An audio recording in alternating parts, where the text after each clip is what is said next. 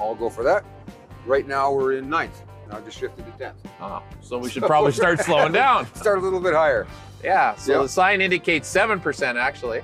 and I, so I and I because I'm downshift. familiar with this hill, I know partway down it's going to increase to 8%. Now, I made a very common mistake there. I'll go back over that in just a minute. But sticking with the grade signs for a bit longer, some signage offers ambiguous warnings like use lower gear or slow down, but they don't tell you lower than what or how slow. Those are really just reminders that you're on a hill that requires a lot of attention. There's no particular safe speed because every truck and load are different. Heavy trucks obviously need to go slower than lightly loaded trucks to be safe, and that can throw rookie drivers a curveball.